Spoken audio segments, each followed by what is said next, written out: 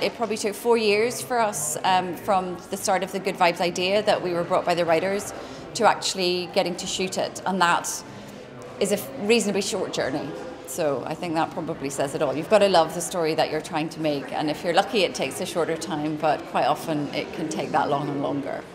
In terms of production and development, there are a lot of ways in which, especially actual making of the film, the technology that is there to allow us to make films eh, much more cheaply than we could a few years ago. But it's really the other end of the industry in terms of sales and distribution, etc. That's got a bit of catching up to do, and I would find it very hard to predict how things are going to go in the next few years. Sometimes, you know, we get stuck talking about the money and how long things take, and it sounds like a very kind of hard luck, gloomy story, a gloomy tale to, to tell about, about working in this industry. But you know, the fact remains that there are so many rewards, and if you really love it and love what you're doing and are passionate about telling stories, you know, it's the most collaborative, exciting. Uh, atmosphere to be to work on set or to work with filmmakers and in that environment lots of camaraderie lots of excitement many kind of you know job satisfaction in spades in a lot of ways and um, I would just encourage people if they really feel they've got a story to tell and are passionate about it then um,